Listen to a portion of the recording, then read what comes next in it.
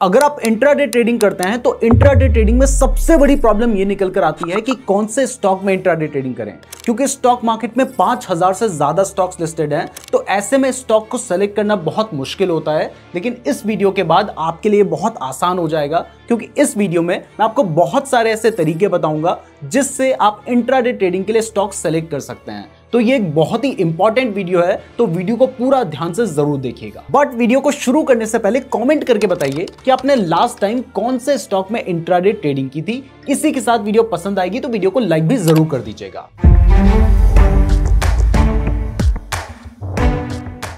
अब दोस्तों, अगर आप इंट्राडे ट्रेडिंग के लिए स्टॉक सेलेक्ट करना चाहते हैं ना तो आपने डायरेक्टली स्टॉक सेलेक्ट नहीं करना है। यहाँ पर सबसे ज़्यादा ज़रूरी होता है दो चीज़ों को देखना। पहला तो इंट्राडे ट्रेडिंग में जो सबसे ज़्यादा इंपॉर्टेंट है, वो है टाइमिंग क्योंकि अगर आपने किसी स्टॉक को बाय कर लिया और वो स्टॉक ऑलरेडी अपना अच्छा खासा मूवमेंट दे चुका है तो फिर चाहे वो कितना अच्छा स्टॉक क्यों ना हो, आपको वहाँ पर लॉस हो सकता है। क्योंकि स्टॉक मार्केट में डेली कुछ ही ऐसे स्टॉक्स होते हैं, जिनमें आपको एक बड़ा मूवमेंट देखने को मिलता है। और ऐसे में अगर मान लीजिए उस स्टॉक में ऑलरेडी मूवमेंट आ चुका है, उस स्टॉक की प्राइस ऑलरेडी बढ़ चुकी है और आपने लेट एंट्री कर ली तो उसके बाद चांसेस हो सकते हैं कि प्राइस नीचे गिर जाए और आपको लॉस हो जाए। यानी इंट्राडे ट्रेडिंग में टाइमिंग सबसे ज़्यादा इंपॉर्टेंट होती है तो आप ट्रेड करते समय टाइमिंग पे पहले फोकस कीजिएगा। और इसके बाद दूसरी चीज़ जिस पे आपने सबसे ज़्यादा ध्यान देना है, वो है मार्केट के सेंटिमेंट्स यानी अगर आप ट्रेडिंग कर रहे हैं तो वहाँ पर मार्केट सेंटिमेंट्स बहुत ज़्यादा मैटर करते हैं और आपने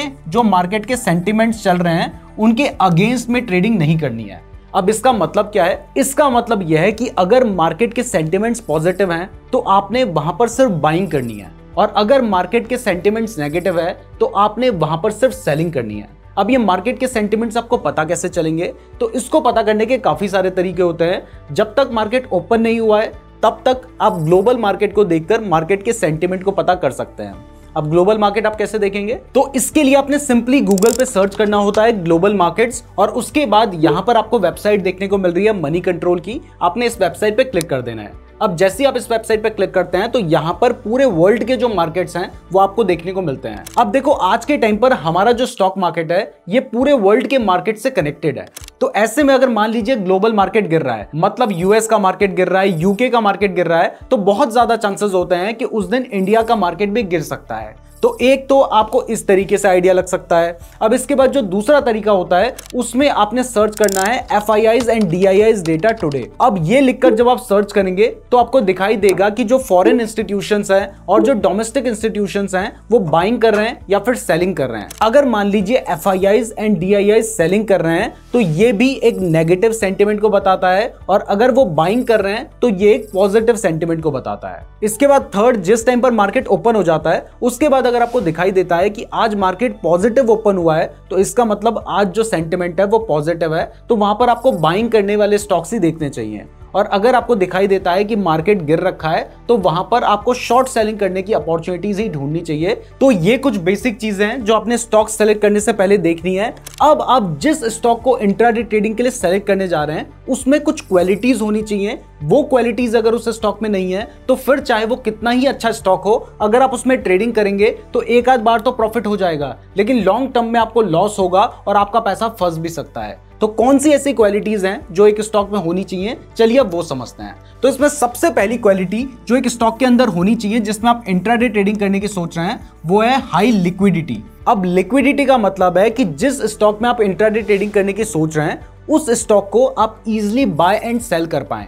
क्योंकि स्टॉक मार्केट में ऐसे भी कुछ स्टॉक्स होते हैं जिनको आप इजिली बाय एंड सेल नहीं कर सकते हैं। हो सकता है कि उस स्टॉक को ज़्यादा लोग बेचना नहीं चाहते हैं या ज़्यादा लोग खरीदना नहीं चाहते हैं तो ऐसे कुछ रीजन हो सकते हैं। तो आपने इंट्राडे ट्रेडिंग के लिए ऐसे स्टॉक्स को अवॉइड करना है, क्योंकि अगर आपने इंट्राडे ट्रेडिंग के लिए स्टॉक को बाय कर लिया और आप उसे सेल नहीं कर पाए तो आपको प्रॉब्लम आ सकती है। अगर आपने शॉर्ट सेल कर दिया और वापस आप बाय नहीं कर पाए तो भी आपको प्रॉब्लम आ सकती है। तो इसलिए इंट्राडे ट्रेडिंग के लिए हमेशा आपने हाई लिक्विडिटी वाले स्टॉक्स को ही सिलेक्ट करना है। अब बेसिक सी बात है कि कौन से स्टॉक्स में लिक्विडिटी रहेगी उन स्टॉक्स में आपको लिक्विडिटी देखने को मिलेगी जो स्टॉक्स पॉपुलर हैं। और इसमें भी जो लार्ज कैप स्टॉक्स होते हैं, यानी जो बड़ी बड़ी कंपनीज़ होती हैं, उन कंपनीज़ में बहुत सारे बायर्स और बहुत सारे सेलर्स हर टाइम अवेलेबल रहते हैं। तो आपने जनरली लार्ज कैप स्टॉक्स में ही इंट्राडे ट्रेडिंग करनी है। और अगर आप किसी मिड कैप स्टॉक में भी इंट्राडे ट्रेडिंग कर रहे हैं तो वहाँ पर भी देख लीजिए कि उसमें अच्छी खासी लिक्विडिटी हो। अब इसके बाद जो दूसरी चीज़ आपको एक स्टॉक में देखनी है, वो है हाई वॉलेटिलिटी अब वॉलेटिलिटी का मतलब क्या होता है? वॉलेटिलिटी का मतलब होता है कि जिस स्टॉक को आपने बाय किया है ना, उस स्टॉक में मूवमेंट आने के चांसेस हो। क्योंकि अगर मान लीजिए उस स्टॉक में कोई खास मूवमेंट आता ही नहीं है तो फिर आप उससे पैसे कमाएँगे कैसे? यानी उस स्टॉक का वॉलेटाइल होना बहुत ज़्यादा ज़रूरी है। तो ऐसा कोई स्टॉक है जिसमें आपको डेली कोई खास मूवमेंट देखने को नहीं मिलती है तो वो स्टॉक भी इंट्राडे ट्रेडिंग के लिए अच्छा नहीं है। इसके बाद जो थर्ड पॉइंट जिसका आपने ध्यान रखना है, वो ये है कि जिस भी स्टॉक में आप इंट्राडे ट्रेडिंग करने की सोच रहे हैं, वो पेनी स्टॉक नहीं होना चाहिए और स्मॉल कैप स्टॉक भी नहीं होना चाहिए। क्योंकि पेनी स्टॉक्स और स्मॉल कैप स्टॉक में पहला तो लिक्विडिटी बहुत कम होती है, जिसकी वजह से उन्हें बाय एंड सेल करने में प्रॉब्लम आ सकती है, और दूसरा इन स्टॉक्स को ऑपरेटर के थ्रू मैनिपुलेट करना आसान होता है तो ऐसे में अगर आप इन स्टॉक में इंट्राडे ट्रेडिंग करने की सोचेंगे तो हो सकता है कि जो भी टेक्निकल एनालिसिस आप उस स्टॉक को बाय करने से पहले कर रहे हैं ना वो टेक्निकल एनालिसिस सही से काम ही ना करे। इसलिए small cap stocks and penny stocks को इंट्राडे ट्रेडिंग के लिए अवॉइड करें। और इसके बाद जो हमारा फोर्थ पॉइंट है, ये भी बहुत ज़्यादा इंपॉर्टेंट है। और वो ये है कि ऐसे स्टॉक्स जिनमें लोअर एंड अपर सर्किट बहुत छोटा है, आपने उन स्टॉक्स में भी इंट्राडे ट्रेडिंग नहीं करनी है। मतलब कुछ ऐसे स्टॉक्स होते हैं जिनमें आपको देखने को मिलेगा कि वहाँ पर अपर सर्किट पाँच परसेंट का है लोअर सर्किट भी पाँच परसेंट का है। तो ऐसे में अगर स्टॉक पाँच परसेंट बढ़ गया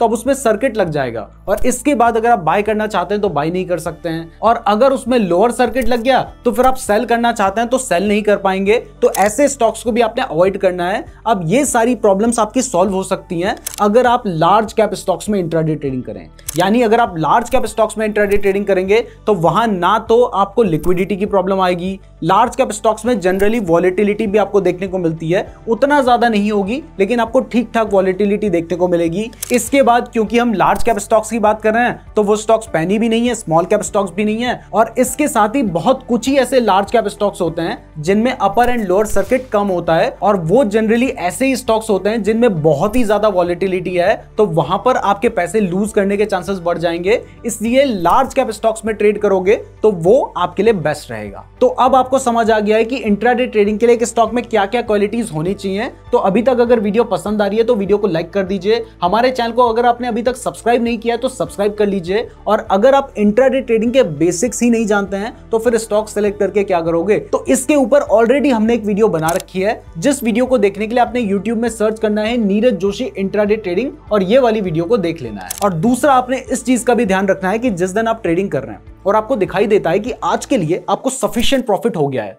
तो अब आप और ज़्यादा ट्रेडिंग मत करो और ज़्यादा लालच मत करो। अगर आज प्रॉफिट हो गया है तो आज के लिए ट्रेडिंग बंद कर दो। अब नेक्स्ट डे दोबारा से रिसर्च करना और तब ट्रेड करना। और इसका उल्टा अगर मान लीजिए आज आपको लगता है कि बहुत ज़्यादा लॉस हो गया है तो अब उस लॉस को रिकवर करने के लिए भी और ज़्यादा ट्रेड करके अपना नुकसान मत करवाना। मैं नहीं चाहता कि आपका नुकसान हो, इसलिए आपको ये चीज़ें बता रहा हूँ। अब डायरेक्टली चलते हैं कि स्टॉक्स को सेलेक्ट करना कैसे है। अब स्टॉक को सेलेक्ट करने के बहुत सारे तरीके हैं। तो चलिए एक एक करके उन तरीके के बारे में बात करते हैं। तो इसमें हमारा जो सबसे पहला तरीका है, इसमें आपने क्या करना है? आपने एक लिस्ट बना लेनी है।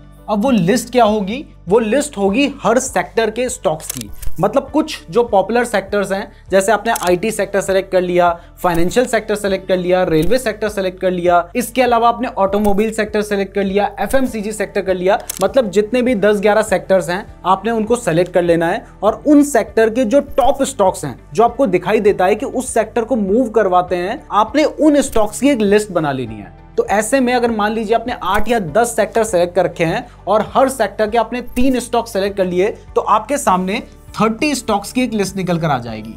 तो अब आपने क्या करना है? आपने इन 30 स्टॉक्स के अलावा और किसी स्टॉक को देखना ही नहीं है। आपके लिए वो 5000 स्टॉक्स अब एग्जिस्ट नहीं करते। अब आपके लिए ये सिर्फ़ 30 स्टॉक्स एग्जिस्ट करते हैं। और ये जो काम आपने करना है, ये आपने एक दिन पहले कर लेना है। अगर आप सुबह नौ पंद्रह पे उठ के डायरेक्टली ट्रेड करने के लिए कोई भी स्टॉक ढूंढ के खरीद लेते हो ना तो फिर आप कभी पैसे नहीं कमा सकते। आपको पहले होमवर्क करना होगा, पहले से प्रिपरेशन करनी होगी और बिल्कुल सोच समझ के ट्रेड लेना होगा और सोच समझ के ट्रेड आप तभी ले पाएँगे जब आपने पहले से होमवर्क कर रखा होगा। तो अब जब आपके सामने थर्टी स्टॉक्स निकल कर आ गए हैं तो अब आपने एक दिन पहले ही इन 30 स्टॉक्स में से देखना है कि कौन से स्टॉक में कौन सा चार्ट पैटर्न बन रहा है। अगर मान लीजिए आपको 30 में से 12 ऐसे स्टॉक्स देखने को मिलते हैं, जिनमें कोई ना कोई बुलिश या बेरिश चार्ट पैटर्न देखने को मिल रहा है, या फिर कोई कैंडलस्टिक पैटर्न देखने को मिल रहा है, जो कि बुलिश या बेरिश हो सकता है तो आपने अब उन स्टॉक्स को सेलेक्ट कर लेना है। तो अब ऐसे 30 में से आपके सामने 12 स्टॉक्स निकल कर आ गए हैं, जिनमें कोई ना कोई चार्ट पैटर्न या कैंडलिस्टिक पैटर्न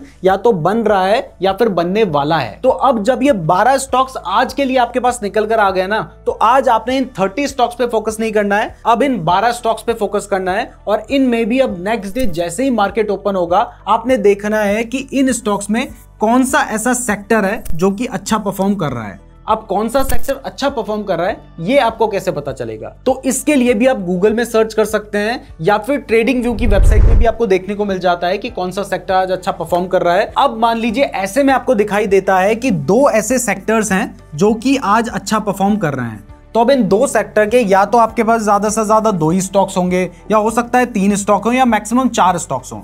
तो अब आपके पास चार स्टॉक्स निकल कर आ गए हैं, जिनमें से किसी एक में आप ट्रेडिंग करेंगे और वो ट्रेडिंग आप किस हिसाब से करेंगे, उसके लिए आपको अपॉर्चुनिटी ढूंढनी है। आपको दिखाई दे रहा है कि यहाँ पर वो चार्ट पैटर्न बन चुका है और इसमें ब्रेकआउट आने वाला है तो आप उसमें ट्रेड करेंगे। तो ये पहला तरीका था जिससे आप अपने लिए स्टॉक सेलेक्ट कर सकते हैं। इस तरीके में चार्ट पैटर्न और कैंडलस्टिक पैटर्न बहुत ज़्यादा इंपॉर्टेंट है। तो अगर आपको चार्ट पैटर्न के बारे में नॉलेज नहीं है तो डोंट वरी, हमने चार्ट पैटर्न के ऊपर एक प्लेलिस्ट बना रखी है, जिसमें टोटल दो वीडियोज़ हैं और उन दो वीडियोस को देखकर आप सारे ही चार्ट पैटर्न्स को सीख सकते हैं। और अगर आपको कैंडलिस्टिक पैटर्न की नॉलेज नहीं है तो हमने कैंडलिस्टिक पैटर्न के ऊपर भी एक प्लेलिस्ट बना रखी है, जिसमें टोटल पाँच वीडियोस हैं। और उन पाँच वीडियोस को देखकर आप बिल्कुल फ्री में सारे ही कैंडलिस्टिक पैटर्न को सीख सकते हैं। यही वो चीज़ें हैं जो लोग पेड कोर्स में सिखाते हैं। और हम आपको बिल्कुल फ्री में सिखा रहे हैं तो डिस्क्रिप्शन में लिंक दिया है। तो प्लेलिस्ट को ज़रूर देख लीजिएगा, या फिर यूट्यूब में सर्च कर लीजिएगा नीरज जोशी चार्ट पैटर्न या नीरज जोशी कैंडलिस्टिक पैटर्न अब इसके बाद जो हमारा दूसरा तरीका है, इसमें हमें ऐसे स्टॉक्स को ढूंढना है जिनमें मूविंग एवरेज का क्रॉसओवर हो रहा हो।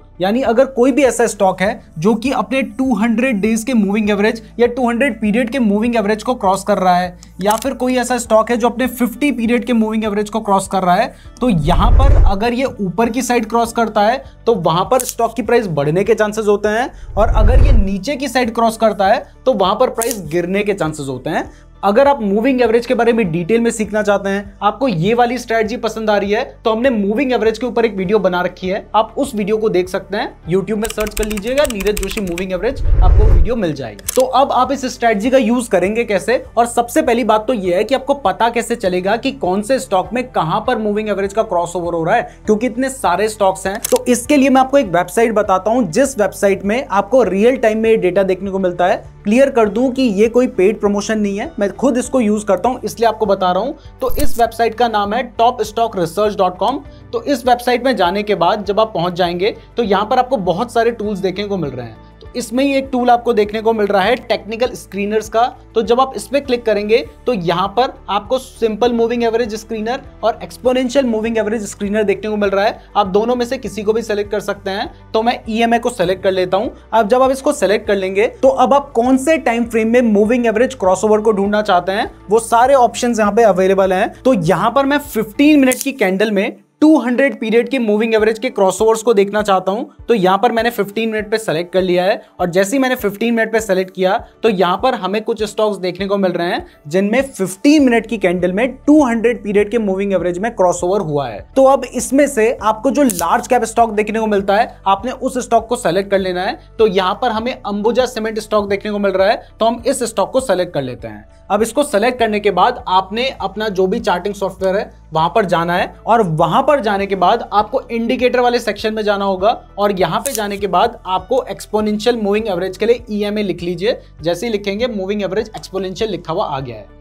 अब जैसे आपने इस पर क्लिक किया, अब यहाँ पे क्लिक करने के बाद आपको यहाँ पे सेटिंग का ऑप्शन देखने को मिल रहा है। आपने इस पर क्लिक करना है और यहाँ पे इनपुट में जाने के बाद ये नाइन पीरियड का मूविंग एवरेज है। इसको चेंज करके कर दीजिए 200 पीरियड अब जैसे ही आप 200 पीरियड करके सेलेक्ट करते हैं तो आपको दिखाई दे रहा है कि यहाँ पर 200 पीरियड के मूविंग एवरेज में आज क्रॉस ओवर हुआ था। और ऐसे में अगर आपने जैसे ही ये क्रॉस ओवर हुआ था, उसके बाद यहाँ पर बाय कर लिया होता तो आप देख सकते हैं कि आप एक अच्छा खासा मूवमेंट यहाँ से कैच कर सकते थे। यानी ये स्ट्रैटेजी अच्छे से काम करती है तो आप इसका भी यूज़ कर सकते हैं। खैर, जो भी तरीके मैं आपको बता रहा हूँ कि आपने कैसे स्टॉक सेलेक्ट करने हैं, वो तरीका यूज़ करने से पहले, उस स्टॉक में ट्रेड करने से पहले खुद भी ट्राई करके देखिए कि आपके हिसाब से कौन सा तरीका बेटर काम कर रहा है। क्योंकि हो सकता है कि कई बार मैं आपको समझाना कुछ और चाह रहा हूँ, आप समझ कुछ और जाएँ और आप गलत डिसीज़न ले लें तो इसलिए हमेशा पहले खुद से देख लीजिए और उसके बाद ही ट्रेड लिया कीजिए। अब यहाँ पर एक और पॉइंट आपको क्लियर कर देता हूँ कि मैंने आपको टॉप स्टॉक रिसर्च नाम की एक वेबसाइट बताई थी। अगर मान लीजिए कभी आपको उसमें रियल टाइम डेटा देखने को नहीं मिलता है तो फिर आपने चार्टिंग का यूज़ करना है। चार्टिंग में जाने के बाद आपको यहाँ पर स्क्रीनर्स का एक ऑप्शन देखने को मिल रहा है। आपने स्क्रीनर्स पे क्लिक कर देना है। स्क्रीनर्स में जाने के बाद आपको मूविंग एवरेज या मूविंग एवरेज क्रॉसओवर लिखकर सर्च करना होगा। या आप E M S M A लिखकर भी सर्च करके ट्राई कर सकते हैं। और आपको बहुत सारे यहाँ पर स्क्रीनर्स देखने को मिल जाएँगे, जिनको आप अपने हिसाब से एडजस्ट करके स्टॉक्स को ढूंढ सकते हैं। तो आप इस तरीके का भी यूज़ कर सकते हैं। अब इसके बाद जो तीसरा तरीका है, वो है ऐसे स्टॉक्स को ढूंढना जिनमें ब्रेकआउट हो रहा हो। हमने रिसेंटली जो वीडियो बनाई थी, उसमें हमने आपको बताया था कि कैसे आप मल्टीपल टाइम फ्रेम में एक स्टॉक को एनालाइज कर सकते हैं और इसके साथ ही हमने आपको बताया था कि जब भी आपका कोई रेजिस्टेंस या सपोर्ट ब्रेक करता है तो उसके बाद प्राइस बढ़ने या गिरने के चांसेस होते हैं। तो अगर मान लीजिए कभी शेयर की प्राइस कुछ इस तरीके से बढ़ रही है और आपको दिखाई देता है कि यहाँ पर तीन बार एक जगह पे जाने के बाद प्राइस वापस से नीचे आई थी और चौथी बार में प्राइस ने इस तरीके से उस रेंज को ब्रेक कर दिया है। तो जब प्राइस इस तरीके से रेंज को ब्रेक कर देती है तो इसका मतलब है कि बार बार इस रेंज के बाद सेलर्स आ जा रहे थे, लेकिन यहाँ पर इस बार बायर्स बहुत ज़्यादा एक्टिव हो गए हैं और उन्होंने सेलर्स को हरा दिया है, जिसकी वजह से प्राइस बढ़ी है तो इसके बाद प्राइस बढ़ने के चांसेस होते हैं। खैर, यहाँ पर आपको कंफर्मेशन का वेट करना चाहिए ट्रेड लेने से पहले, लेकिन ब्रेकआउट एक ऐसा तरीका होता है जिनको भी आप ट्रेड कर सकते हैं। और इसी तरीके से अगर मान लीजिए, आपको कभी दिखाई देता है कि शेयर की जो प्राइस है, वो बार बार एक रेंज में जा रही है और उसके बाद वापस बढ़ जा रही है, लेकिन एक टाइम ऐसा आता है जिस टाइम पर प्राइस उस रेंज पे आने के बाद नीचे को आ जाती है। तो यहाँ पर चांसेस होते हैं कि इस जगह पर जो बायर्स थे, उससे ज़्यादा सेलर्स आ गए हैं, जिस वजह से बायर्स को सेलर्स ने हरा दिया है और इसके बाद प्राइस गिरने के चांसेस होते हैं तो आप ब्रेकआउट्स को ट्रेड कर सकते हैं, लेकिन वही प्रॉब्लम है कि हमें पता कैसे चलेगा कि कौन से स्टॉक में ब्रेकआउट आया है। तो इसके लिए जो मैंने आपको पहला तरीका बताया था, जिसमें आपने सबसे पहले कुछ स्टॉक्स को सेलेक्ट करके रख लेना है तो आप उन्हीं स्टॉक्स में अपने लेवल भी ड्रॉ करके रख सकते हैं। ये एक टाइम आपकी मेहनत लगेगी और उसके बाद आपके पास सभी स्टॉक्स के लेवल हैं। तो जैसे ही आपको दिखाई देता है कि किसी का लेवल ब्रेक हो गया है तो वहाँ पर आप ट्रेड ले सकते हैं। लेकिन मैं जानता हूँ कि क्योंकि बहुत सारे स्टॉक्स हैं तो कैसे आप मॉनिटर करेंगे कि किसमें आपका लेवल ब्रेक हुआ है? तो इसके लिए आपने गूगल में सर्च करना है ब्रेकआउट स्टॉक्स और जैसे ही आप ब्रेकआउट स्टॉक लिखकर सर्च करेंगे तो आपको चार्टिंग का एक स्क्रीनर देखने को मिल जाएगा, जिसमें आपको 15 मिनट स्टॉक ब्रेकआउट देखने को मिल रहा है। तो यहाँ पर आपको वो सारे स्टॉक्स देखने को मिलेंगे, जो कि पिछले 15 मिनट में ब्रेकआउट दे रहे हैं। तो यहाँ से आप अपने लिए स्टॉक सेलेक्ट कर सकते हैं, और अगर आप मान लीजिए टाइम फ्रेम को चेंज करना चाहते हैं, या फिर यहाँ पर निफ्टी 500 सेलेक्टेड है। अगर आप इसको निफ्टी 50 करना चाहते हैं तो आप यहाँ से निफ्टी 50 कर दीजिए, और उसके बाद आपको सिर्फ़ वही स्टॉक्स देखने को मिलेंगे, जो कि निफ्टी 50 में 15 मिनट में ब्रेकआउट दे रहे हैं। तो यहाँ पर आपको सारे लार्ज कैप स्टॉक्स देखने को मिल रहे हैं। इसके लिए हमें पहले रन स्कैन करना होगा। तो अब जैसे हमने स्कैन रन कर दिया है तो अब हमें सिर्फ़ वही स्टॉक्स देखने को मिल रहे हैं जो कि निफ्टी 50 में आते हैं और उनमें 15 मिनट में ब्रेकआउट हुआ है। इसके अलावा अगर मान लीजिए आप 15 मिनट की जगह फाइव मिनट में ट्रेड करना चाहते हैं तो यहाँ पे जहाँ जहाँ पे 15 मिनट है, आप उसको चेंज करके फाइव मिनट कर दीजिए और जैसे आप सब जगह पे फाइव मिनट कर देंगे, उसके बाद आपको सिर्फ़ वही स्टॉक्स देखने को मिलेंगे जिनमें पिछले पाँच मिनट में ब्रेकआउट हुआ है। तो ऐसे आप अपने लिए स्टॉक सेलेक्ट कर सकते हैं। तो यहाँ पे हमने फाइव मिनट सेलेक्ट कर लिया है। तो अब फाइव मिनट के टाइम फ्रेम में कौन कौन से स्टॉक्स में ब्रेकआउट हुआ है, वो हमें देखने को मिल रहा है। तो इसमें से मान लीजिए मैं टाटा मोटर्स को सेलेक्ट कर लेता हूँ, या आईटीसी को सेलेक्ट कर लेता हूँ, या इसमें बहुत सारे स्टॉक्स आपको देखने को मिल रहे हैं, और उसमें आप ट्रेड कर सकते हैं। एग्ज़ाम्पल के लिए यहाँ पर मैंने एच सी खोल रखा है। तो एच सी में आप देख सकते हैं कि यहाँ पे हमने फिफ्टीन मिनट सेलेक्ट किया था, क्योंकि फिफ्टीन मिनट में भी इसमें ब्रेकआउट हो रहा था। अब मैं इसको फाइव मिनट कर देता हूँ। तो फाइव मिनट करने के बाद हमें दिखाई दे रहा है कि यहाँ पर ये एक इसका एक लेवल था।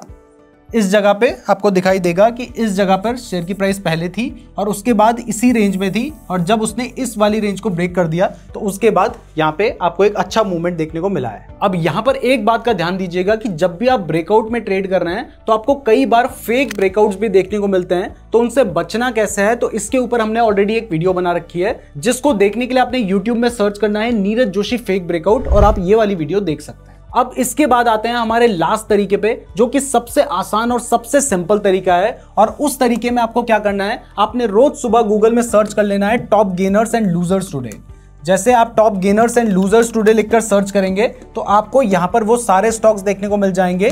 तो यहाँ पर आपको देखने को मिल रहा है टॉप गेनर्स आपने इस पर क्लिक कर देना है। अब जैसे आप इस पर क्लिक करेंगे तो यहाँ पर आपको वो स्टॉक्स देखने को मिलेंगे, जो कि आज के दिन पर अच्छा परफॉर्म कर रहे हैं। तो यहाँ पर अब हमें वो सारे स्टॉक्स देखने को मिल रहे हैं। अब इसमें जनरली होता क्या है कि ट्रेडर्स क्या करते हैं कि जो टॉप में स्टॉक है ना, जो सबसे ज़्यादा बढ़ चुका है, उसमें बाय कर लेते हैं या उसमें ट्रेड कर लेते हैं। ये गलत तरीका होता है, क्योंकि वो स्टॉक तो ऑलरेडी बढ़ चुका है ना। तो आपने उसको बाय नहीं करना है। आपको नीचे से कोई स्टॉक सेलेक्ट करना है, जो कि अभी बढ़ना शुरू हुआ है। और ध्यान देना है थोड़ी देर तक कि क्या उस स्टॉक में कोई बड़ी मूवमेंट आ रही है। तो आप नीचे से जो स्टॉक्स अभी ऊपर की तरफ़ आ रहे हैं, आप उन पे ध्यान दीजिए और उनमें आप ट्रेड कर सकते हैं। क्लियर कर दूँ कि ये थोड़ा सा रिस्की होता है, क्योंकि कई बार स्टॉक में मूवमेंट आ चुकी होती है और उसके बाद प्राइस गिर सकती है, लेकिन ये बहुत आसान तरीका है, क्योंकि ये कोई भी सिंपली सर्च कर सकता है और उसमें ट्रेड कर सकता है। और इसके साथ ही अगर मान लीजिए आपने शॉर्ट सेल करना है तो वहाँ पर आप टॉप लूजर्स लिखकर सर्च कर सकते हैं और उसके बाद आपको ऐसे स्टॉक्स देखने को मिल जाएँगे और जो स्टॉक अभी गिरना शुरू हुआ है, आप उसमें शॉर्ट सेलिंग कर सकते हैं। अब यहाँ से आप स्टॉक तो सेलेक्ट कर सकते हैं, लेकिन ध्यान रखिए कि सिर्फ़ आपने यहाँ से नाम पढ़ा और ट्रेड ले लिया एक सही तरीका नहीं है। आपने यहाँ से मान लीजिए एच सी टेक को ही सिलेक्ट कर लिया, आपको नाम दिखाई दे दिया। तो अब आप जाके उसका चार्ट देखिए। चार्ट में जाने के बाद आप टेक्निकल एनालिसिस करके देखिए कि क्या स्टॉक में ब्रेकआउट आ सकता है या कोई और तरीके से स्टॉक की प्राइस बढ़ सकती है। और जब आपको दिखाई दे रहा है कि स्टॉक में ब्रेकआउट आ गया है तो सही टाइमिंग देखकर बाय कीजिए। अगर आप सिर्फ़ देखेंगे टॉप गेनर्स बाय कर देंगे तो वहाँ पे लॉस हो सकता है। इसलिए बेटर तरीका ये होगा। इसके साथ ही मैं आपको एक बोनस टिप दे देता हूँ, जो कि जितने भी तरीके मैंने आपको बताए हैं, उन सभी तरीकों के साथ आपने यूज़ करना है और वो ये है कि जो भी स्टॉक में आप ट्रेड करने की सोच रहे हैं, उसमें एक इंडिकेटर का ज़रूर यूज़ करें, जो कि है वॉल्यूम वॉल्यूम इंडिकेटर से हमें पता चलता है कि उस स्टॉक में कितनी ज़्यादा ट्रेडिंग की जा रही है। यहाँ पर वॉल्यूम के बहुत सारे नाम देखने को मिल रहे हैं। आप सिंपल वॉल्यूम का एक ऑप्शन है, उस पर क्लिक कर लीजिए। अब जैसे आप वॉल्यूम पे क्लिक करेंगे तो यहाँ पर इस तरीके से आपको वॉल्यूम देखने को मिलेगा। और जब कभी आपको दिखाई देता है कि एक स्टॉक में वॉल्यूम अचानक से बढ़ा है जैसे नॉर्मली इसमें इतना वॉल्यूम रहता है, लेकिन अचानक से यहाँ पर वॉल्यूम बढ़ा है और इसके साथ प्राइस भी बढ़ी है। तो ये एक बहुत ही पॉजिटिव सिग्नल है, क्योंकि एक तो प्राइस बढ़ रही है, दूसरा वॉल्यूम भी बढ़ रहा है। तो इसका मतलब है कि यहाँ से प्राइस बढ़ने के चांसेस हैं तो आप कंफर्म हो सकते हैं। और ऐसे ही मान लीजिए अगर आपको कभी दिखाई देता है कि वॉल्यूम बढ़ रहा है और प्राइस गिर रही है तो वहाँ पर प्राइस और ज़्यादा गिर सकती है। क्लियर कर दूँ कि कुछ लोग कंफ्यूज हो जाते हैं, उनको लगता है प्राइस गिर रही है और वॉल्यूम भी गिर रहा है। तो इसका मतलब है कि ये नेगेटिव सिग्नल है। लेकिन ऐसा नहीं है। अगर प्राइस गिर रही है तो वहाँ पर भी वॉल्यूम बढ़ रहा होना चाहिए, क्योंकि वॉल्यूम का मतलब है कि ज़्यादा ट्रेडर्स उसमें इंटरेस्ट ले रहे हैं और प्राइस गिर रही है तो इसका मतलब उनका जो पॉइंट ऑफ़ व्यू है, वो बियरिश हो सकता है। अब अभी तक मैंने आपको जितने भी तरीके बताए, इन तरीकों में आपको खुद मेहनत करनी पड़ेगी। आपको खुद ढूंढना पड़ेगा कि कौन से स्टॉक में आपको बाय करना है, कौन से स्टॉक में सेल करना है। लेकिन क्या हो कि आपके पास एक शीट हो, जो शीट खुद डेली अपडेट हो जाए और उसमें आपको पता चल जाए कि कहाँ पर एक स्टॉक को बाय करना है, कहाँ पर एक स्टॉक को सेल करना है और वहाँ पर प्राइस भी मेंशन हो। तो ये पॉसिबल है, ऐसी शीट आप खुद बना सकते हैं और वो शीट कैसे बनानी है, ये बताने से पहले अगर आपको वीडियो पसंद आई है तो वीडियो को लाइक कर दीजिए। अगर आप ट्रेडिंग या स्टॉक मार्केट के बारे में डिटेल में सीखना चाहते हैं तो हमारे चैनल को सब्सक्राइब ज़रूर कर दीजिएगा। इसके साथ ही अगर आप ट्रेडिंग के लिए बेस्ट डीमेट अकाउंट खुलवाना चाहते हैं तो कुछ अच्छे डीमेट अकाउंट के लिंक मैंने आपको डिस्क्रिप्शन पर दे रखे हैं तो डिस्क्रिप्शन भी ज़रूर चेक कर लीजिएगा। और फाइनली अगर आप वो शीट खुद से बनाना चाहते हैं, आप इस वीडियो को देखकर अपने लिए एक शीट बना सकते हैं, जो शीट आपको डेली बता देगी कि कौन से स्टॉक को कौन सी प्राइस पे बाय करना है। धन्यवाद।